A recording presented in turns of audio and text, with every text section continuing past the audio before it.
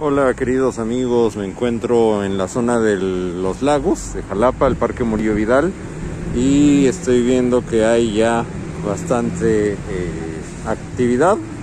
Hay una feria del artesano, ahí están los eh, cochos, hay bastantes personas que están eh, poniendo sus puestos, obviamente todos tenemos cubrebocas, todos todavía tienen eh, mascarilla puesta. Se trata del Día Internacional del Artesano. Es entrada libre y pues aquí venden muchas artesanías y esto es parte pues de la reactivación que ya se está viendo aquí en Jalapa. bueno, veremos que hay un montón de cosas bonitas y bueno, saludos, adiós.